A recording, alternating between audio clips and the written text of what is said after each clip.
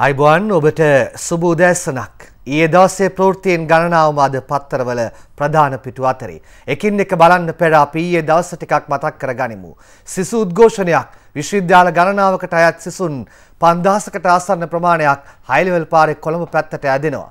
මේ සිසුන් කොයි පැත්තට මේ පෙළපාලිය හරවයිද කියලා හිතා ගන්න බැරුව පොලිසිය පාර්ලිමේන්තුවේ පැත්තේ ආරක්ෂක බලමුළු තර කරනවා. ඒ අතරේ ලිප්ටන් වටරවුමේ වෙන්දට තියෙන ජල ප්‍රහාරක රථ පොලිසියේ අමුතු ආකාරයේ ආරක්ෂක ක්‍රමවේද කිසිවක් නැහැ. ඒ අතරේ පාර්ලිමේන්තුව පැත්තේ ආරක්ෂක වැඩපිළිවෙල පිළිබඳව ජනතාව දැනුවත් කිරීම සඳහා කැමරාගත කරන්නට යන මාධ්‍යවේදීන්ට පොලිසිය පාඩ් දානවා. මාර පාඩ් දාන්නේ.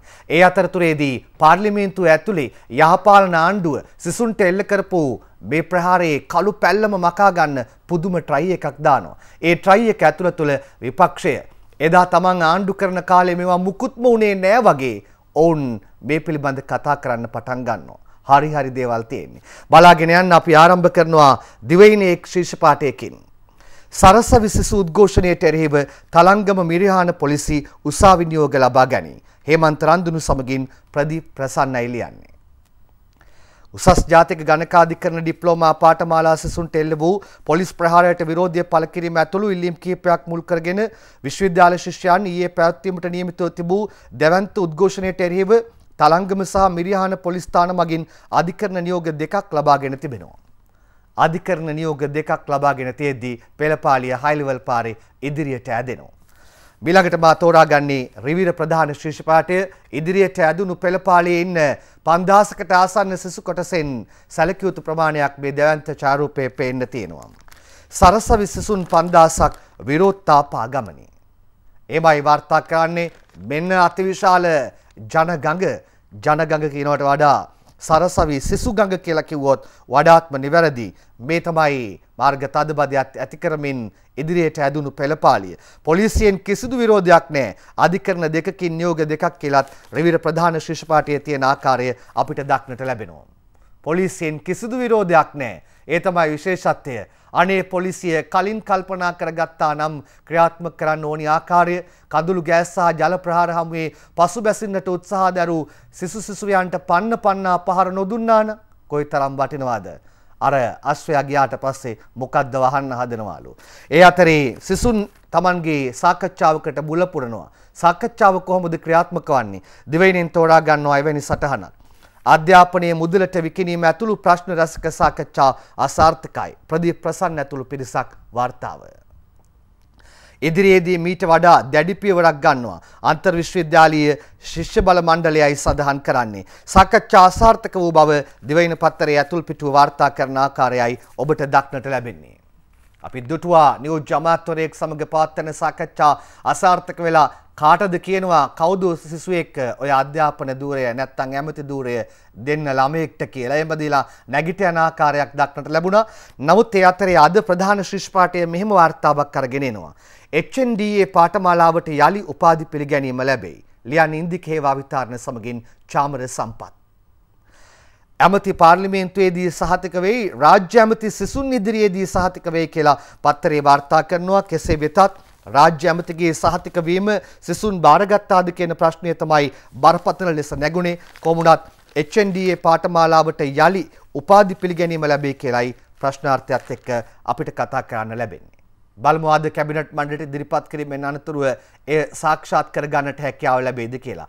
ඒ අතරේ අපි යමු පාර්ලිමේන්තුව ඇතුළට පාර්ලිමේන්තුවේ අර මා කියපු කාරණාව අපිට ඊයේ දක්නට ලැබුණා. යහපාලන ආණ්ඩුව කළු පැල්ලම අකා ගන්න පුදුම ට්‍රයි එකක් දෙද්දී විපක්ෂය Taman ආණ්ඩු කරන කාලේ මේවා මුකුත් මුනේ නැති විදියට ඇසරෙන්න දරන උත්සාහයකුත් දක්නට ලැබුණා.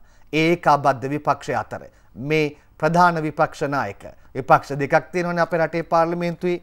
දිවයින ප්‍රධාන ශිෂ්පාඨය සිසුන්ට පහර දීම වගකීම් විරහිත ක්‍රියාවක්. විපක්ෂ නායක ආර් සම්බන්ධන් කියන්නේ අජිත් අලහකොන් සමගින් කුෂාන් සුබසිංහයි ලියන්නේ.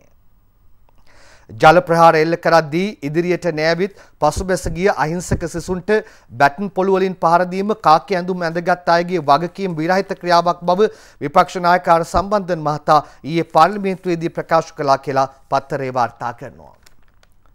පසුබැස යන සිසුන්ට පහර දීම සිසුවෙක්ගේ ඔළුවට රිදෙන්න ගහලා පැලෙන්න ඔන්න මෙන්න තියලා ස්කෑන් පරීක්ෂණ කීපයක් කරන්න ගහලා ඊට පස්සේ ජේෂ්ඨ පොලිස් අධිකාරිවරයෙක් කියනවා මේ සිසුවියව නැගිට්ටවන්න දරපු උත්සාහය කියලා. අත් දෙකේ පොළු දෙකක් තියාගෙන සිසුවියක් නැගිට්ටවන්න උත්සාහ කරපු ලෝකයේ පළමු රට අපේ රට බවටයි පත් වුණේ.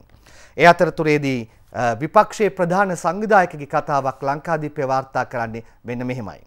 පොලිසිය මාධ්‍ය හමුවක් තිබ්බේ කාගේ වමනාවටද ආණ්ඩු කුමාර ප්‍රශ්න කරන්නේ ලියන්න රංජන් කස්තුරි සමගින් සුජිත් හේවාජූරිගේ. සිසුන්ට පහරදීමේ සිද්ධිය පිළිබඳ පරීක්ෂණයක් පැවැත්වීමට පෙර පොලිසිය මාධ්‍ය හමුවක් පවත්වා මැර ප්‍රහාරය සාධාරණීකරණය කිරීමට කටයුතු කළේ කාගේ වුවමනාවට දැයි විපක්ෂයේ ප්‍රධාන සංවිධායක අනුරු කුමාර දිසානායක මහතා ඊයේ පාර්ලිමේන්තුවේදී ආණ්ඩුවෙන් ප්‍රශ්න කළා. ආණ්ඩුව හරිහමන් උත්තරයක් දුන්නද කියන්න දන්නේ නෑ. හැබැයි මේ ප්‍රශ්නය රටේ බොහෝ දෙනෙක්ට මතුණා. පොලිසිය මාධ්‍ය හමුවක් තකහනිය තියලා මේක සාධාරණීකරණය කරන්න දරපු උත්සාහය අඩුම ගානේ හිරු ප්‍රවෘත්ති රෑ බැලුවා නම් අර ජ්‍යෙෂ්ඨ පොලිස් අධිකාරිවරයා කියයිද සිසුවියව නැගිට්ටවන්නටයි උත්සාහ දරුවේ කියලා. එතකොට අර සිසුවෙක්ගේ ඔළුවෙන් ගලාගෙන ආපු ලේ ඊට කලින් කවුරු හරි කරපු පහර දීමකින් ආපු ලේද? මේ වගේ ප්‍රශ්නාර්ථ ගණනාවක් එතුරුණා. ඒ අතරේදී පොලිසිය බාර ඇමති පාර්ලිමේන්තුවේදී කියන කතාව. උද්ඝෝෂණ පීඩනය සෙසුන්ටත් පොලිසියටත් එකසේ ආදාලයි. එහෙමයි කියන්නේ ඇමති මාරපන මැති සභේදී කියනවා. උද්ඝෝෂණයේ පීඩනය ගැනයි කතා කරන්නේ සිසුන්ටත් පොලිසියටත් එකසේ අදාලයි කියලා ඔහු සඳහන් කිරුණ ආකාරයක් දක්නට ලැබුණා. උණුසුම් වාදයක් පාර්ලිමේන්තුවේදී එවාදයට අග්‍රාමාත්වරයක් මැදිහත් වෙනවා. අග්‍රාමාත්වරයා මොනවද කිව්වේ කරුණු කාරණා ගණනාවක් කිව්වා. අදාළ කතා දෙකක් පත්තර දෙක තියෙනවා. ඒ දෙක එක ළඟ පෙළ ගැස්සමු අපි. උපාධි තත්ත්වය නැති කළේ රාජපක්ෂ ආණ්ඩුවයි. අගමැති රනිල් කියන්නේ රංජන් කස්තුරි සමගින් සුජිත් හේවාජූලිගේ ලියන්නේ. උසස් ජාතික ගණකාධිකරණ ඩිප්ලෝමා පාඨමාලාවට හිමි වී තිබූ උපාධි සම්මාන තත්ත්වය මහින්ද රාජපක්ෂ ආණ්ඩුව අහෝසි කර දැමූ අතර ඊට හවුල් වූ ඇතැම් මැති ඇමතුරුන් වර්තමාන අමාත්‍ය මණ්ඩලයේද සිටින බව අග්‍රාමාත්‍ය රනිල් වික්‍රමසිංහ මහතා පාර්ලිමේන්තුවේදී ඊයේ සඳහන් කරනවා. ආ වර්තමාන අමාත්‍ය මණ්ඩලෙත් යහපාලන අමාත්‍ය මණ්ඩලෙත් එයා ඉන්නවා කියලායි ඕන්න කියලා තියෙන්නේ. ඒ අතරදී තවත් කතාවක් අගමැතිතුමා කිව්වා. ඒ කියපු කතාව තිබුණා දිවයින පත්තරේ. අපි සූදානම් ඒ කතාව කොමක්ද කියලා ඔබට දැන් කියන්නට. මෙහෙමයි අගමැතිතුමා කියන්නේ. මං උත්තර දෙන්නේ රතුපස්වල ලේ නොගෑවුණු අයටයි. අගමැති කියනවා අජිත් අලහකෝන් සමගින් කුෂාන් සුබසිංහ ලියනවා. සිසු ප්‍රහාරය සම්බන්ධයෙන් තමන් පාර්ලිමේන්තුවේදී උත්තර දෙන්නේ රතුපස්වල සහ කටුනායක සිද්ධිවලින් අත්වල ලේ නොගෑවුණු විපක්ෂ නායක සම්බන්ධයෙන් සහ විපක්ෂයේ සංවිධායක අනුර කුමාර දිසානායක යන අය කරන ප්‍රශ්න කිරීම වලට පමණක් බව අගමැති රනිල් වික්‍රමසිංහ මහතා ඊයේ පාර්ලිමේන්තුවේදී ප්‍රකාශ කළා. ඔන්න කරුණු ගණනාව එක ළඟ පෙළ ගැස්සුවා. දැන් ඔබට පැහැදිලි වන්නේ කුමක්ද? බලන්න පුළුවන් දැන් තව මොහොතකින් පාර්ලිමේන්තුවේදී මේ අය කතා කරපු ආකාරය තුළින් ඔබට පැහැදිලි වෙයි මං කිව්වේ බොරුද කියලා. මොකද්ද මං කිව්වේ? යහපාලන ආණ්ඩුව මේ කළු පැල්ලම හොදලා අරින්නට මාර ට්‍රයි එකක් දාද්දී විපක්ෂය මින් පෙර කවදාවත් තමන්ගේ ආණ්ඩු කාලේ හලාවත දීවරයෙක් මැරුණා කටුනායක තවත් කෙනෙක් මැරුණා ඒ විතරක් නෙවෙයි රතුපස්වල පන්න පන්න පහර දුන්නා. ඒවා අමතකයි වගේ කතා කරනවා. දෙපැත්තම එකයි කියලා සමහරු කියන්නේ ඒ නිසාද දන්නේ. බලන්න පාර්ලිමේන්තුව.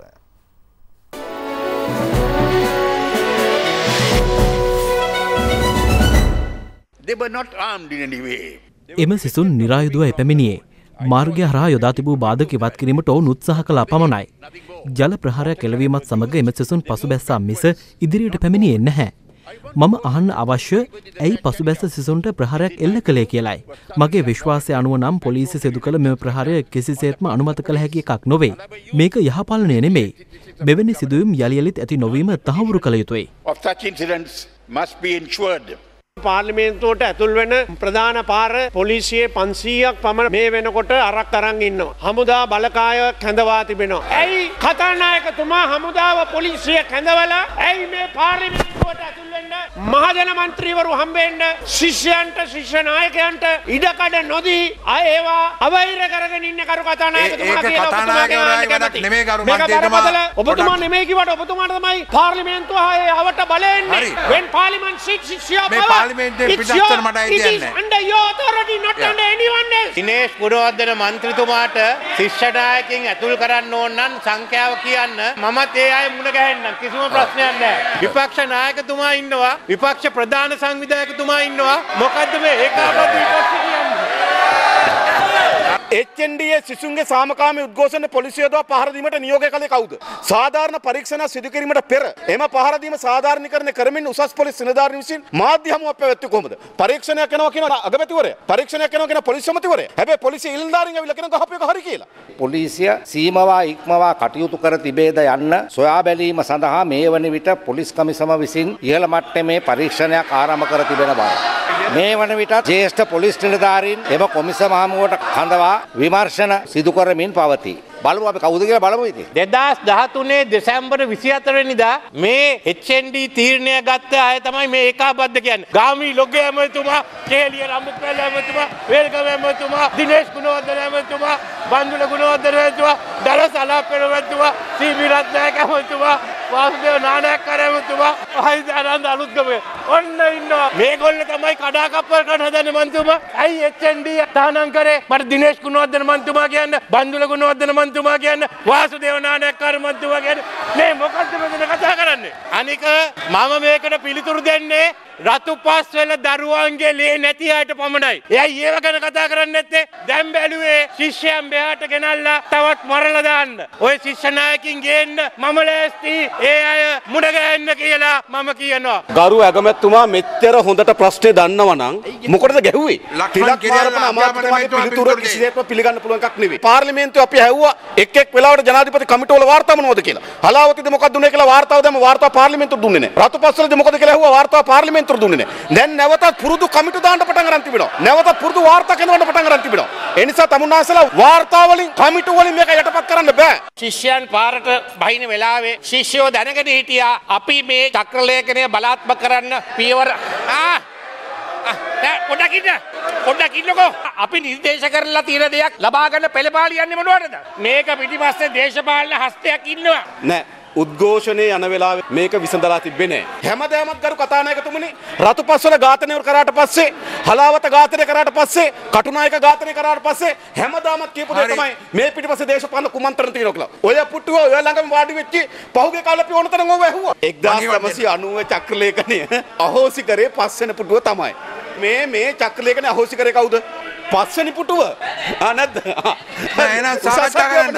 මේක ඇත්ත දෙදස් දහතුනේ මහින්ද රාජපක්ෂ ජනාධිපතිතුමාගේ ආණ්ඩුවෙන් මේක අවසි කරා. ඒක සමහර අය අද කැබිනට් මණ්ඩලෙත් ඉන්නවා. ඒත් මෛත්‍රීපාල සිරිසේන ජනාධිපතිතුමා බාරගත්තයන් පස්සේ අපි තීරණය කරා ඒක වෙනස් කරන්න. හරි හෝ වැරදි යක වෙනස් කරා. දැන් ඒකට විරුද්ධ අය තමයි මෛත්‍රීපාල සිරිසේන ජනාධිපති විරුද්ධ. ඉතින් මේ තමයි අර චක්‍ර ලේඛනය ගෙනියන්න ඕන කියන අය අපි මේක හදලා ඉවරයි. එහෙනම් නැකිట్లా මෛත්‍රීපාල සිරිසේන ජනාධිපතිතුමාගේ නායකත්වය පිළිගන්න එච්චරයි තියෙන්නේ. මෙතන ප්‍රශ්නේ ඒකාබද්ධ විපක්ෂ කියලා පුදුම සතෙක් ඇවිල්ලා විපක්ෂයක හැප්පෙන්න හදනවා. අපි මොනවා කරන්නද?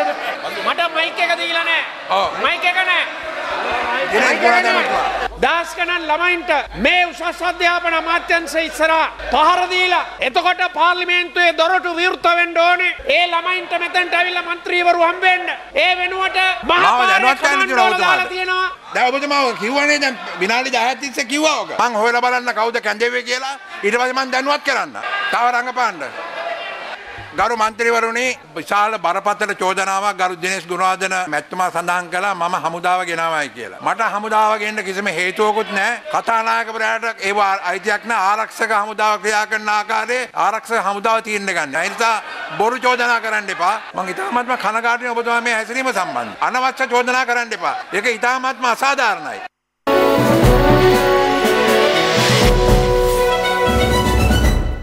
අර බුදුගුණ අලංකාරයේ කවියෙක් කොටසක් මතක් වුණා තැන තැන තිබූ බලිබිලි කියලා. ඒ වගේද මන්ද පාර්ලිමේන්තුවනේ අපි ඒ ගැන කියන්න දන්නේ නැහැ. ඒ අතර මම සටහනක් දැක්ක දිනමින පත්තරයේ තියෙනවා උසස් අධ්‍යාපන රාජ්‍ය ඇමති කියලා තියෙනවා. පෙළපාලි නොයා කෙටි පණිවිඩයක් එවා සාකච්ඡාවක් ඉල්ලන්න කියලා. කියන්න ගියාම කොයිතරම් ලේසිද නේ? කරන්න ගියාම කරනවා නම් මොනවා කරන්න බැරිද?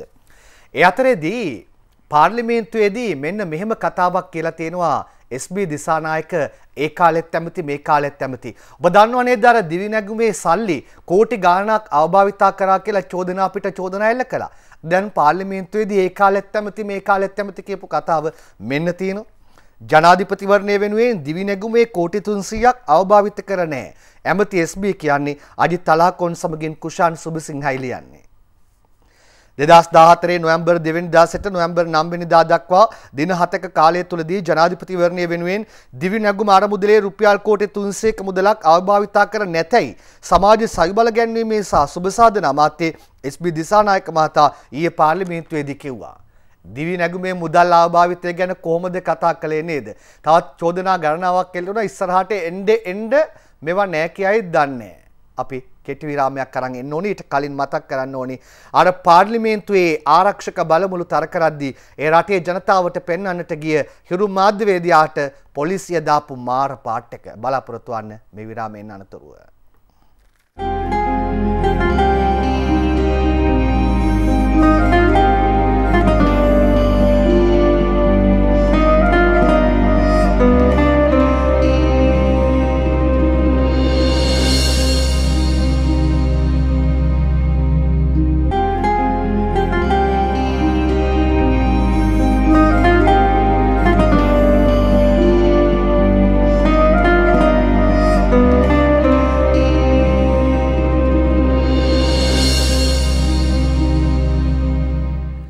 මං ඔබෙන් ප්‍රශ්නයක් අහන්න හදන්නේ. ඔබ පොලිස් ගැන කීයක් දන්නවද? පොලිස් වර්ග කීයක් දන්නවද? අපේ රටේ පොලිසිය ගැන ඔබ පළමුව දන්නවා. ඊළඟට ඔබ දන්නවා සපත්තු පොලිස් ගැන. ඒ විතරක් නෙමෙයි ඔබ දන්නවා හොරා පොලිස් ගැන. පුංචි කාලේ සෙල්ලම් කරන්න ඇතිනේ. ඒ අතරේ අපි දැන් හඳුන්වා දෙන්න හදන්නේ ඊයේ ප්‍රවෘත්ති ප්‍රකාශයෙන් දැක්ක චණ්ඩි පොලිස්.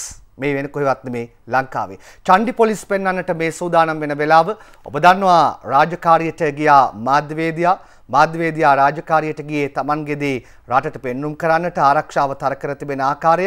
එෙහිදී හැඳුනුම්පත ඉල්ලනවා ඉහළ පොලිස් නිලධාරියෙක්. හැඳුනුම්පත ලබා දෙනවා. හැඳුනුම්පතේ පැහැදිලිවම ප්‍රවෘත්ති දෙපාර්තමේන්තුව රජයේ ප්‍රවෘත්ති දෙපාර්තමේන්තුව දක්වා තිබෙනවා මාධ්‍යවේදියාට බාධාවකින් තොරව රාජකාරී කරන්න අවස්ථාව සලසා දෙන්න කියන ඉල්ලීම පැහැදිලිවම සඳහන් කරලා තියෙනවා. ඒ අතරේදී චණ්ඩි පොලිස් කතා කරන සොරය හොඳින් අහගෙන ඉන්න. ඒ උච්ච සොරය මේ උච්ච ස්වරයේ ගැබ් වෙලා තියෙන්නේ අර සිසුන්ට එල්ල කරපු දරුණු අමානුෂික ප්‍රහාරය රටට පෙන්වාට තියෙන කේන්තියද කෝපයද වෛරයද කියලා බලන්න. ඒ අතරතුරේදී මේ මාධ්‍යවේදියා කිසිම තැනක පොලිසිය රාජකාරියට බාධා කරන්න යන්නේ නැහැ. මේ උසස් පොලිස් නිලධාරියා උච්ච ස්වරයෙන් කියනවා රාජකාරියට බාධා කළයි කියලා කළයි කියලා අල්ලනවා කියලා. ඒ පොලිසිය යම් යම් දේවල් නිර්මාණය කරන්න දුත්සාහ දරන්නේ. මෙන්න බලන්න එන්න ඔබ දැනගත්ත නැති චණ්ඩි පොලිස්. විශ්වවිද්‍යාල සිසුන් අද පැවත් වූ විරෝධතා පාගමන පාර්ලිමේන්තු පරිශ්‍රය අසලට පැමිණෙන බවට ප්‍රථමයෙන් වාර්තාාවේ තිබුණා. අප මාධ්‍යවේදියකු එම ස්ථානයට ගියේ එහි යොදවා තිබූ ආරක්ෂාව පිළිබඳ වාර්තා කිරීමටයි. කෙසේ වෙතත් එහිදී අප මාධ්‍යවේදයාට එහි සිටි උසස් පොලිස් නිලධාරයකුගෙන් බාදායල්ල වුණා. ඔදෙන්වාගේ මීඩිය පාස්සක පොට්ට කෑරුවන්න මෙහමනද මීඩියක් නව කරගන්න තානන්ද? මෙතන තානන් මෙතන අපේ රාජකාරයක් කරන්න මෙතන මීය කරන්න බෑ. කරුණා කල්ල කැමරක පල්ලයා දාන්න. ඇයි? කරන්න ඇයි? කරන්න බැරි මෙතන? කැමරයක පල්ලයා දාගන්න. කරන්න බැරි මොකද්ද? කරන්න කරන්න බැරි මොකද්ද? රාජකාරියට බාධා කරනවා කියලා ගන්නවා. හරිද? හරි හරි මොකද්ද ඔයා කරන්න බෑ කියන්නේ? හරි මොකද්ද? කැමරා එක. කැමරා එක.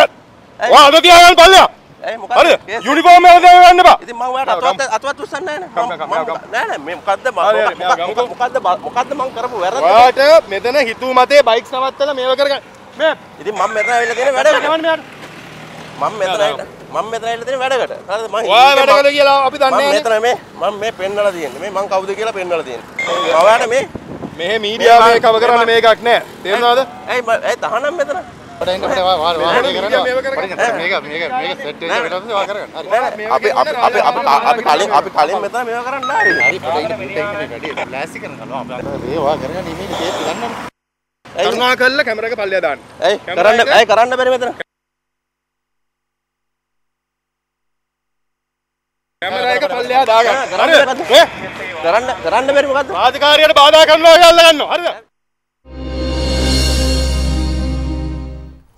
ඉහළ පොලිස් නිලධාරියා කියන්නේ මෙහි මීඩියා කවර් කරන්න මේකක් නෑ කියලා. ඒ මේක මොකද්ද කියන්න නම් අපි දන්නේ නෑ ඔබ දන්නෙත් නැතුව ඇති. හැබැයි උච්ච ස්වරය චන්ඩි පාට් එක නම් ඔබ දකින්න ඇති. සමහර පොලිස් නිලධාරීන් මේ මාධ්‍ය හැඳුනුම්පතේ අවශ්‍යතාවය වටිනාකම නොදැන කටයුතු කිරීම ගැටලුවක්. ඒ චන්ඩි පොලිස්. මේක මොකක්ද කියලා නම් අපි කියන්න දන්නේ නැහැ. අපි තවත් සටහන් පෙළකට යන්න සූදානම් වෙන්නේ වැඩිදුර ප්‍රතිකාරවලට මාදුරුවාබේ හිමි වූ සිංගප්පූරුවට සටහන විනිතායම් ගමගේ. හදවත් සැත්කමකට භාජනය වී කොළඹ පෞද්ගලික රෝහලක ප්‍රතිකාර ලබමින් සිටින කෝට්ටේ ශ්‍රී නාග විහාරාධිපති මාදුළුවාබේ සෝබිත හිමියෝ වැඩිදුර ප්‍රතිකාර සඳහා අද අලුයම සිංගප්පූරුව බලා වැඩමවාගෙන යනු ලබන බව පත්තරේ වාර්තා කරනවා. රවිරාජ් ඝාතනය යළි අවතාර වෙන ආකාරයක් තමයි දක්නට ලැබෙන්නේ. රවිරාජ් ඝාතනයට 6 දිනකට නඩු පවරයි. නිරංගි අබේවික්‍රමගේ සටහන. තිදෙනෙක් හිටපු නාවික බටයවුන්. නාරායන්පිට මාතාපාරයේදී නාදුරන තුවක්කරුවෙකු විසින් පාර්ලිමේන්තු මන්ත්‍රී නඩරාජා රවිරාජ් මහතා සහ ඔහුගේ ආරක්ෂක නිලධාරියා වෙඩි තබා ඝාතනය කරනු ලැබීම ඇතුළු චෝදනා තුනක් යටතේ විත්තිකරුවන් 6 දෙනෙකුට එරෙහිව නීතිපතිවරයා ඊයේ කොළඹ ප්‍රධාන මහේස්ත්‍රාත් අධිකරණයේ නඩු පැවරුවා කියලා පත්තරේ වාර්තා කරලා තියෙනවා. නැවත වතාවක් වෙඩි තැබීමක්, මහමග වෙඩි තැබීම්, කොල්ලකෑම් මේ වගේ දේවල් තාම අඩුවෙන පාටක් පේන්න නෑ නේද? දිවයින ප්‍රධාන පිටුවේ තියෙනවා සටහන ඊයේ උදේ ඌරගස්මන් හන්දියේදී යතුරු පැදියේ ගිය තරුණයන් දෙදෙනා වෙඩි තබා මරලා හේමන්ත රන්දුණු ඇතුළු පිරිසක් වාර්තා කරන්නේ. ඌරගස්මන් හන්දිය රන්කොටුවිල මාලවල ප්‍රදේශයේ යතුරු පැදියක යමින් සිටි තරුණයන් දෙදෙනෙකු ඊයේ පෙරවරුවේ වෙඩි තබා ඝාතනය කර ඇති බවයි මෙන්න පත්තරයේ වාර්තා කරලා තියෙන්නේ. සියලු කුණු කොහෙන්ද කිව්වා වගේ දැන් සියලු කුණු අපිටද මහමග කුණු දමා තිබෙන ආකාරය කුණුවලට විසඳුම් හරි හැටි නොලැබෙන ආකාරය දැක්ගන්න තියෙද්දි අභ්‍යවකාශ කුණු ගොඩක් වැටෙන්න තෝරගෙන තියෙන්නේ අපේ රටට ආසන්නයේ කියලා කිව්වමනේ. අනවශ්‍ය බියක් කලබලයක් ඇති කරගන්න එපා. සමහර අනවශ්‍ය බිය කලබල ඇති කරගන්නට දරන උත්සාහයන් ගැන කතා කරනවා අභ්‍යවකාශයේ අර ග්‍රාහකයක් හෝ කුණු ගොඩක් වැටෙන කතාව නැවත මතක් කරලා දෙන්නම්. අපදෙස්ස බලාගෙන 13 වෙනිදා අහසින් වැටෙන කසල ගොඩෙන් අනතුරක් නැහැ. ESA කියන්නේ ලියන්නේ රාසී වීරසිංහ. මෙම් මස 13 වෙනිදා පෘථුවිය මතට කඩා වැටීමට නියමිත අභ්‍යවකාශ කසලගොඩ මගින් පෘථුවියට කිසිදු අන්තරක් ඇති නොකරන බව යුරෝපා ආකාශ නියෝජිත ආයතනය සඳහන් කරනවා කියලයි පත්තරේ වාර්තා කරන්නේ. මෙන්න අප දෙස බලාගෙන 13 වෙනි දහසින් වැටෙන කසලගොඩෙන් අනතුරක් නැහැ කියලයි පත්තරේ වාර්තා කරන්නේ. බය වෙන්න එපා. අපි ඊළඟට දිනමිනේ ප්‍රධාන ශිෂ්‍ය පාඨයයි මෞබිමේ ප්‍රධාන ශිෂ්‍ය පාඨයයි ඔබට ඉදිරිපත් කරන්න සූදානම්. රියපුහුණු වෑන්ඩ්‍රියට විදුලු රැහැනක් වැටිලා. පිලිස්සීම් තුවාල ලැබූ හතර දෙනෙක් කරාපිටියේ ගාල්ලේ නන්දසිරි සහ ගාල්ලේ වාර්තාකරු සටහන් කරන්නේ. මෙන්න එම සටහන තිදෙනෙක් මේ ඇති කියලා පත්තරේ වාර්තා කරනවා රියපුහුණු වෑන්ඩ්‍රියට විදුලි රැහැනක් වැටිලා.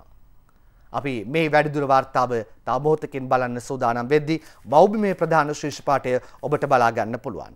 එප්පාවල වැව් බැම්ම කඩාගෙන යයි.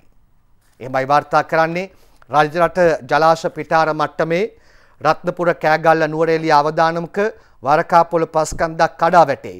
තැන් 5000ක් නායෑමේ අනතුරක්. එප්පාවල වැව්බැම්ම කඩාගෙන ගිහින් රත්නපුර කෑගල්ල නුවරඑළිය අවදානමක වරකාපොළ පස්කන්දක් කඩා වැටේ.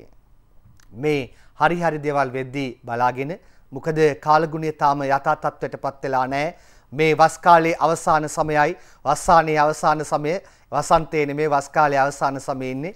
අපි පරිස්සමින් ඉන්න කියලා කෙටි විරාමයකට ගිහින් එන්නම්.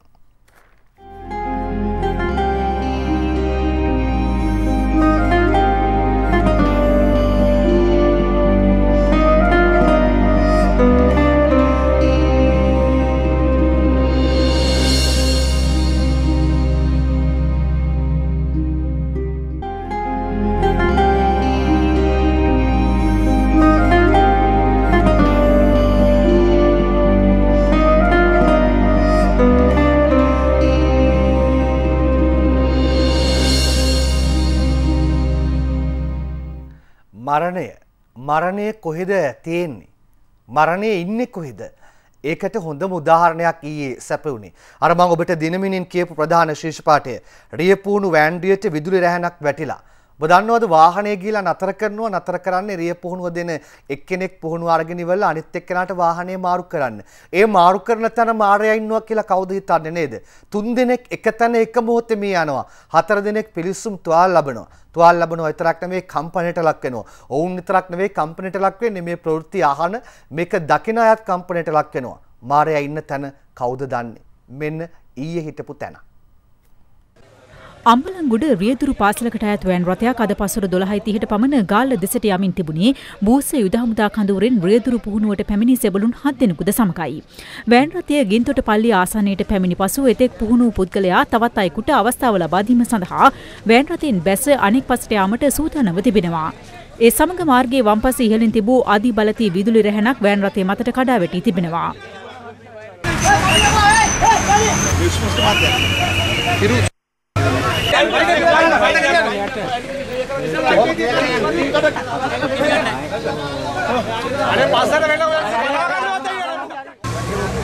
ඔව් දැන් මිනිස්සු නරන් ගියා. දැන් මං ඉස්සරහම අරන් ගියේ.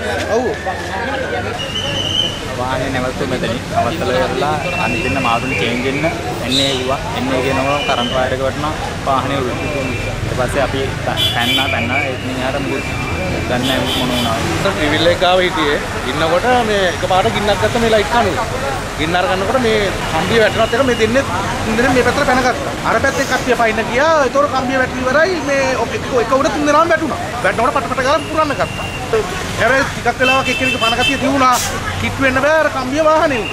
අර වේන් එකෙන් බේරිච්ච එක්කෙනා ඇවිල්ලා කිව්වා මේම කරන්ට් එක වැදිලා කියලා කෑ ගහන කරනවා. එතකොට අපි දුවලා ඇවිල්ලා බැලුවා. බැලුවම තුන් දෙනෙක් මැරිලා. ඊට පස්සේ ඇවිල්ලා අර උඩ ඉන්න එක්කෙනා ෆෝන් කරනවා විදුලි වල මණ්ඩලයට කෝල් කරලා දැන් පැයකටත් වැඩි අපි බලාගෙන ඉන්නවා ආවේ නැහැ. ඊට පස්සේ තමයි ෆයිර් බ්‍රිගේඩ් එකෙන් ඇම්බුලන්ස් එකෙන් අන්තිමට ආවේ තමයි විදුලි බල මණ්ඩලය.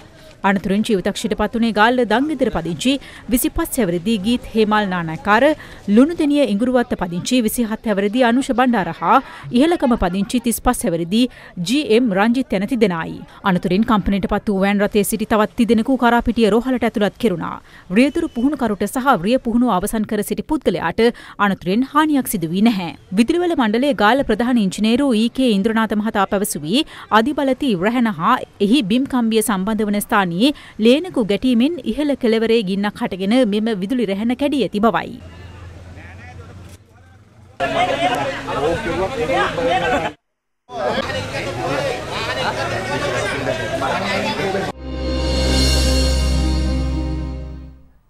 ජනාධිපතිවරයාගේ තායිලන්ත සංචාරය පිළිබඳව පත්තර වාර්තා කළා තියෙනවා මා අද පත්තරෙන් උපුටා ගන්නවා කතාව ආයෝජන රැසක් ශ්‍රී ලංකාවට ලබා දීමට තායිලන්ත ව්‍යාපාරිකයෝ ජනපතිට එකඟ වෙති. තායිලන්ත හා ශ්‍රී ලංකාව අතර පවතින ද්විත්ව බදු ක්‍රමය අවශ්‍ය කිරීමට ජනපතිගෙන් යෝජනාවක් සමාධි බුද්ධ ප්‍රතිමාවේ අනුරුවක් තායිලන්තයේ ස්ථාපිත කරයි කියලත් පත්තරේ වාර්තා කරනවා. විදෙස්ගත ශ්‍රී ලංකිකයන් අපි දන්නවා හිරු ඔබ නරඹන තරම්. ඒ තරම් ඔබට අපව ප්‍රියයි. අපට ඔබව ප්‍රියයි. මේ පුංචි පණවිඩයක් ගෙන්නයි හදන්නේ ජයිපෙන් යෝජනාවක් කරලා තියෙනවා.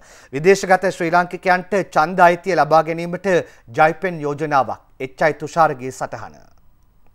විදේශගත ශ්‍රී ලාංකිකයන්ට ඡන්ද අයිතිය නොමැති නිසා උන්ට ඇති වී තිබෙන ගැටලු පිළිබඳ දේශපාලඥයන්ගේ අවධානය අඩු වී තිබෙන බවත් මේ නිසා විදේශගත ශ්‍රී ලාංකිකයන්ට ඡන්ද අයිතිය ලබා ගැනීම සඳහා අවකාශ කටයුතු කරන ලෙස එතර අප සංවිධානයේ සභාපතිවරයා සඳහන් කිරීමක් එල්ලීමක් කරනවා කියලයි පත්තරේ වාර්තා කරන්නේ. පුරවැස්සි බලය ඉදිරි මග එලි දකි එච්චයි තුෂාර ලියන්නේ.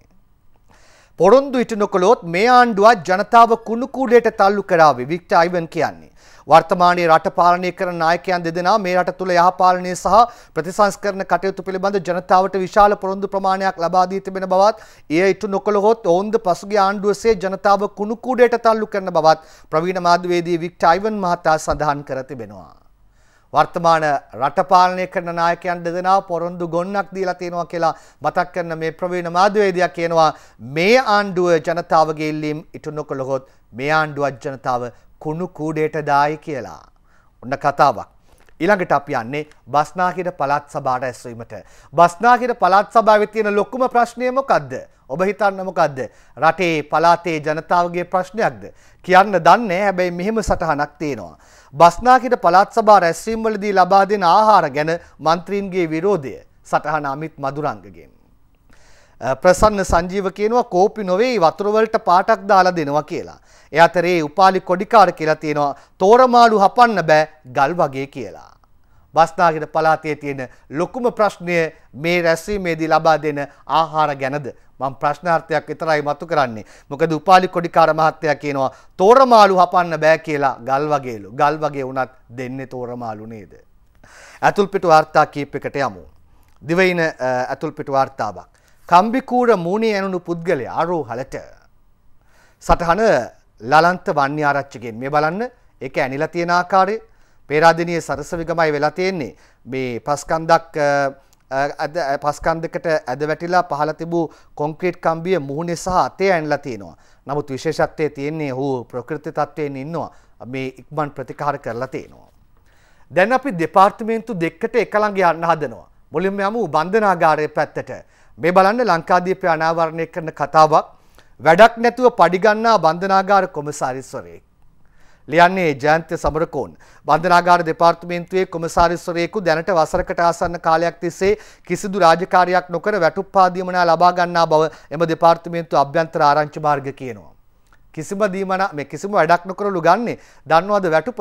රුපියල් 60000ක් වැටුප. මීට අවුරුදු කිහිපයකට පෙර වැඩතහනමකට ලක්ව ඇති මෙම කොමසාරිස්වරයාගේ චෝදනාවක් විභාගයේ රාජ්‍ය සේවා කොමිසම මගින් සිදු කරගෙන යන අතර එතෙක් මොහු සේවයේ පිහිටුවා ඇතැයි කියලා කියනවා. බන්ධනාගාරයේ මේ කවුද කියලා කොමසාරිස් ජෙනරාල්වරයාගේ අවධානයට අපි පාත්‍ර කරනවා. ඊළඟට තවත් දෙපාර්තමේන්තුවක්. අපේ රටේ පුදුම දෙපාර්තමේන්තු තියෙනවා. මෙන්න එක දෙපාර්තමේන්තුවක වැඩක්.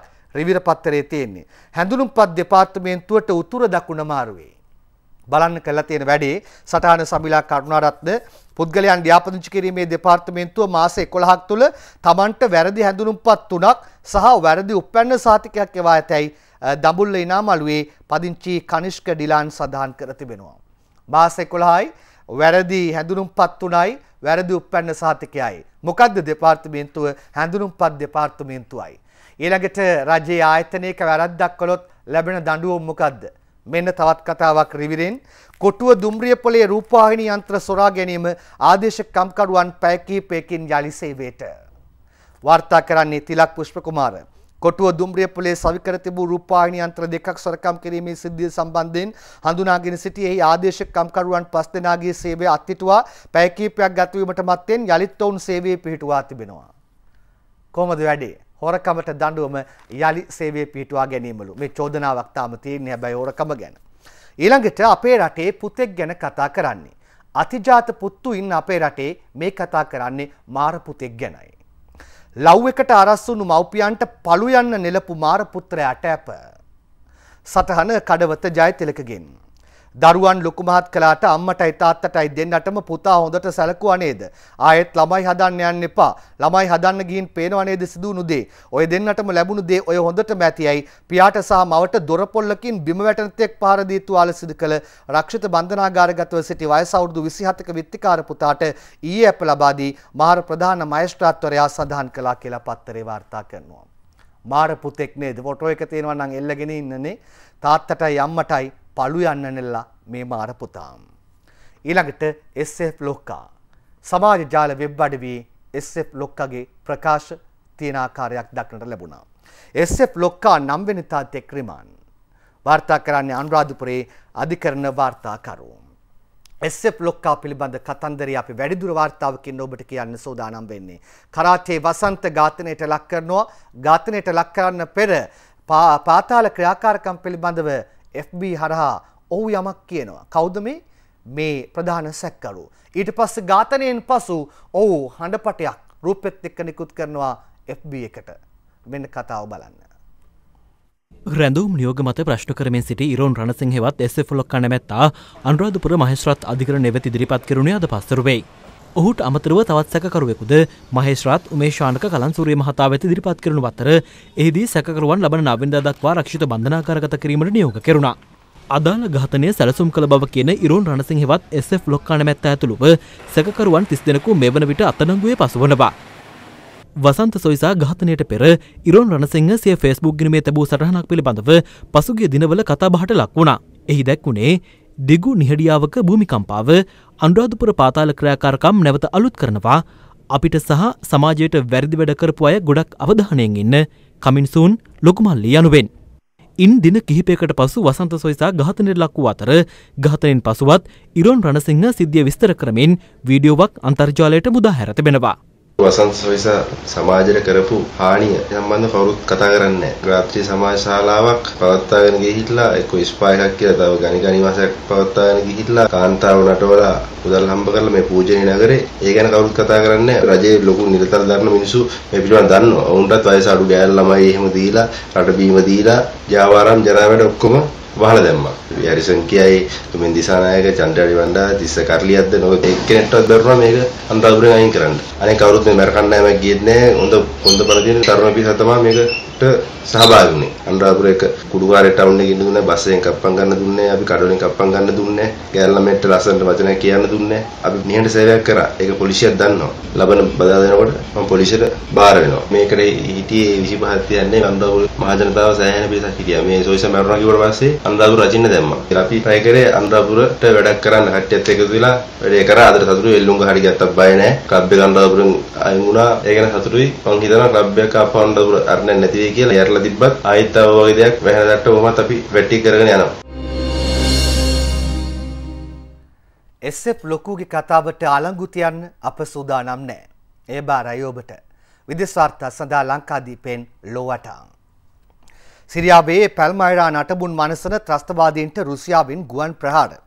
පාප්තුමන් අප්‍රිකාවේ සංචාරයකට සූදානම්. අන්තවාදී ආගමික අදහස් ඉන්දියාව ආපස්සට හරවනවා කියලා බොලිවුඩ් රජු ශාරුක්කාන් සඳහන් කරනවා.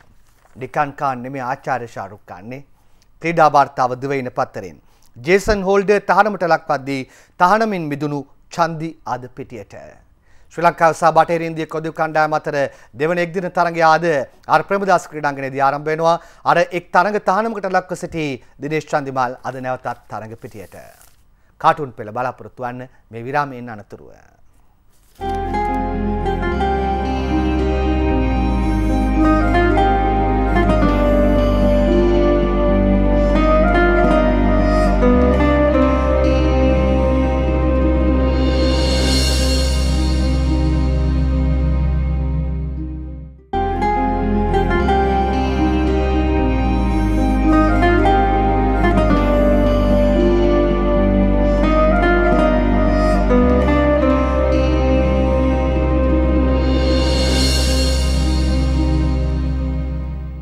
මත්තල ගුවන්තොටුපලයි හම්බන්තොට වරායයි. දෙකම තියෙනවා එකම කාටුන් එකේ. අපේ ආධාරම මෙතනින්. ලංකාදීපේ පංකජ රුවින්දගේ සරදම්. දේශපාලකතුමා කියනවා කටුනායකට වැස්ස හින්දා මත්තලට ගුවන් යානයක් ඇවිල්ලා කියලා. සරදම් අහනවා හම්බන්තොට වරායට ඒ විදිහටවත් නැව්වෙන්නේ නැද්ද සෑර් කියලා? වැස්ස තියෙන්න ඕනේ මත්තලට ගුවන් යානයක් එන්න නේද? ඊළඟට අද පත්තරේ අවන්ත ආටිගලගේ කාටුන් එක මෙන්න. අලන්ත ආටිකල අදහස් කරන්න මොකක්ද දන්නේ පේන විදිහට අපේ රටේ සරසවි සිසුන් Tamanගේ සටන් පාට කියමින් උද්ඝෝෂණය යද්දී දේශපාලඥයෙක් වගේ කවුරු හරි කෙනෙක් පිටිපස්සෙන් ඇවිල්ලා සුදු කොලයක් හරි සුදු රෙද්දක් හරි දාලා ඒ සටන් වාට සටන් පාට වහන්න යන ආකාරයක් තමයි අපිට නම් පේන්නේ. කවියක් බලමුද ලංකාදීපෙන් තිලකගේ තුන්මන්සල කවිය මේ. අරගල කරන විටදී පැන බලට නෙක පොලිසිය ගැහැණු ළමයෙකු නිසි විලස දැක අවම බලය වෙනි නම් ඔලු පලන එක යහපාලනය ගැන ඇතිවෙයි අපට දුක. යහපාලනයට මඩ පැල්ලමක් පිහිදාන්න යන්නේ කවුද කියලා ඊළඟ කාටුන් එකෙන් බලන්න. රිවිරි අසං ඉඳුනිල්ගේ තිරස් මෙන්න. අගමැත්තුමා කියනවා සිසුන්ට කළ ප්‍රහාරය පිළිබඳ පරීක්ෂාවට විශේෂ කමිටුවක් කියලා. ඒ පුවතත් එක්ක කාටුන් එක බලන්න අර යන්නේ යහපාලන බස් එක යනගමන් පිටිපස්සේ මොකද්ද වෙලා තියෙන්නේ? දරුණු මඩ පැල්ලමක් ඇවිල්ලා බාල්දියකුත් උස්සගෙන අගමැත්තුමා දුවනවා යහපාලන බස් එක ළඟට අර මඩ පැල්ලම පිහිදාලා දාන්න. ඒ අතරේ මන්ත්‍රීන්ට අවිපුහුණුව UNP එකේ අය කියනවා අවිපුහුණුව ඕනේ නෑ කියලා UNP එකේ අය කියනවා ඒක ඕනි කියලා. එපයි කියන කෙනා ඉන්නවා උදේ විමලසිරිගේ කාටුන් එකේ. මෙන්න බලන්න කවුද මේ? අලි ටිකක් යනවා අවිපුහුණුවට. අරේ හින්දාන් වාදනයක් දෙනවා සජිත් ප්‍රේමදාස ඇමති. මේ වාදනය අර අලින්ට ඇහෙන්නේ නෑ. තමන්ම කල්පනා කරනවා බීරි අලි කියලා. මේ එජාපේ නියෝජ්‍ය නායකයා බීරි අලින්ට වීණාව එනවාද? එපා කියද්දිත් අපි පොහුණුවට යනවා. ගිහිල්ලා මොකද කරන්න දැන්? අපි බලාගෙන යමු. ප්‍රීති කන්නංගරගේ කාටුන් එක දිනමිනෙන්. මෙන්න මන්ත්‍රීවරුන්ගේ පුහුණුව මොනවද මන්ත්‍රීවරුන් පුහුණු වෙන්නේ වෙඩි තියන්නයි පුහුණු වෙන්නේ. ඒ අතර අපේ රටේ ජනතාවගේ පුහුණුව ජනතාව පුහුණු වෙන්නේ දුවන්න. පොලිසියෙන් ගහද්දි දුවන්න පුහුණු වෙනවද කියලා මේ කාටුන් එකෙන් නම් පැහැදිලි නෑ. එතකොට දැන් මේ අවිපුහුණුව മന്ത്രിවරුන්ට දුන්නට පස්සේ තවත් කෙනෙක්ට විශේෂයෙන් පුහුණු වෙන්න වෙයිද? මේ තලන්ගේ ඒතුමා කාටුන් එක. මෙන්න බලන්න අර කවුද පුහුණුවට ඇවිල්ලා ඉන්නේ? සිරත් ඇවිල්ලා පුහුණුවට. එළිය മന്ത്രിවරු පුහුණු වෙනවා. සර් ගෝලිය පුහුණුව අවසන් කරලා වැඩත් පටන් අරන් ඩුම් ඩෝම් පටාස් කියලා වෙඩි තියාගෙන යනවා. දුවගෙන ඇවිල්ලා සිරා පිස්තෝලයක් දෙනවා. වත්මන් ජනාධිපතිතුමාට දැන් සෑර්ගේ ආරක්ෂාවටත් මේක පුහුණු වෙන්න වෙනවායි කියලා. ඒතුමත් උජාරුවට ඉන්නවා පුහුණුවේ අවසානයේදී. ලංකාදීපයේ තලන්ගේ අනේද කියන්නේ කවිය මේ. මෙන්න පදපේලි හතර. පුච්චා නැත රොටිය රත්තුණු විට තැටිය ඉච්ඡා බස් දොඩති ඔලු ගෙඩිවල මැටිය උච්චාරණය කරන බණපද දෙයි ගුටිය අච්චාරුවකී දේශපාලන පොරපිටිය දෙස්පාලන පොරපිටිය අච්චාරුවක් වෙලා පුච්චල නෑලු රොටිය රත්තුනාට තැටිය. ඊළඟට තිස්සේවා විස්සගේ හිනා බැස ලංකාදීපෙන්. කතානායකතුමා කියනවා තමන්ගේ ගෙදර කුණු සුද්ධ කරගන්න බැරි උන්දලා රටේ කුණු සුද්ධ කරන්නේ කොහොමද කියලා මාදිවෙල නිවාස සංකීර්ණයේ ඉන්න മന്ത്രിවරුන්ගේ මොනවද මේ ප්‍රකාශයත් සමග නැතිවන්නේ ඇඳිවතයි නැතිවන්නේ රෙද්ද ගැලවිලම වැටෙන ආකාරයක් දක්නට ලැබෙන්නේ දැන් ජාතික ලැයිස්තුවෙන් දුන්නනේ පැරදිච්චායට යන්න ඒක එතකොට රටේ ජනතාවට පාසල් ශිෂ්‍යයන්ට දෙන්න හදන්නේ මොකද්ද? ඒකට ප්‍රතිඋපකාරයක් විදිහට වගේ ලංකාදීපේ තලංගම ජයසිංහගේ පලා මල්ල මෙන්න. රාජදාසගේ වයිෆ් කියනවා O level අසමත් සිසුන්ටත් A level කරන්න අගමැතිතුමා ඉඩ දෙන්න යනවලු. එතකොට රාජදාස කියනවා ඡන්දෙන් අසමත් එකාලටත් පාර්ලිමේන්තු යන්න දෙන රටක පාසල් සිසුන්ට විතරක් එහෙම අසාධාරණයක් වෙන්න දෙන්න බෑනේ අලෝ කියලා. ඊළඟට උදේ ගම්මන්පිල ඉන්නවා දාසහ පොලානගේ ස්වාරිස් කාටුන් එකේ. උදේ ගම්මන්පිල මාධ්‍ය ඉස්සරහට ඇවිල්ලා කියනවා මෙන්න මාව අත්අඩංගුවට ගන්න හදනවෝ කියලා. ඒ අතරේ પાස්පෝර්ට් එක නැවත අරගෙන යන්න විමල්ගේ පස්සෙන් යන ස්වාරිස් හැරිලා උදේ ගම්මන්පිලට කියනවා ඉතින් අගමැතිතුමාට කියනවා කෝ කියලා. උදයත් අගමැත්තුමාටම කියයිද කියලා අපි බලාගෙන ඉමු. ඒ අතරේ සරත් ෆොන්සේකා මොනවද මේ දවස්වල කරන්නේ? ලංකාදීපේ දාසගේ කාටුන් එක මෙන්න. මෙන්න සරත් ෆොන්සේකා කරන දේ මහින්ද රාජපක්ෂ හිටපු ජනාධිපතිතුමා ළඟට ඇවිල්ලා මොකද්ද මේ ගලවන්නේ? සරම නෙමෙයි ගලවන්නේ. පේන විදිහට අමුඩේ ගලවන පාටයි පේන්න තියෙන්නේ. ජයපේ නායකයයි මහින්ද රාජපක්ෂ මහතායි හමු වෙලා මොකක්ද හමු? අවසන් කාටුනේ මෙන්න මව්බිමේ අංජනීන්ද්‍රජිත්ගෙන්. අන්ඩු කුමාර දිසානායක කියනවා මේ ආණ්ඩුවෙත් විශිල් විතරයි බල්ටි නෑ. විශිල් කියලා කියන්නේ විශිල් විතරයි බල්ටි නෑ කියලා කියනවා. යහපාලන සර්කස් බලන්න ගිහිල්ලා මේ බල්ටි නැති නිසා හැරලා එන අන්ඩු කුමාර දිසානායක දැකලා මහින්ද මහත්තයා ඉස්සරහා ඉඳන් දිව එළියට දාලා අහනවා ඇද්ද කියලා. ජයපේ නායකයාගෙන් අහන්නේ මහින්ද මහත්තයා ඇද්ද කියලා. අපි හමුයමු මේක පුදුම ලෝකයක් සමගින්.